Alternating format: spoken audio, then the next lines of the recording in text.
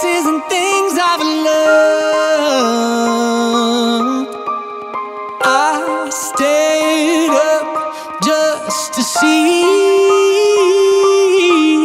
when all of the faces you were the one next to me.